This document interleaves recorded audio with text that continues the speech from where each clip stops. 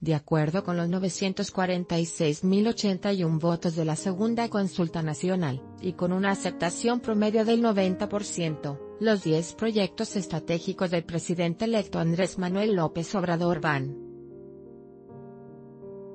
El Tren Maya fue el proyecto con menor aceptación con 850.526 votos, es decir, 89.9% estuvo a favor y 62.441, 6.6%, en contra.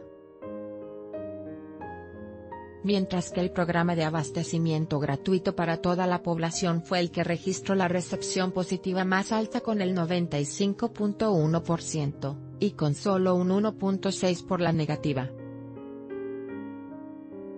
Aunque las encuestas publicadas esta mañana registraron una baja en la popularidad de Andrés Manuel López Obrador, su vocero Jesús Ramírez Cuevas descartó que esto se deba a las consultas ciudadanas por las que se canceló el nuevo Aeropuerto Internacional de México.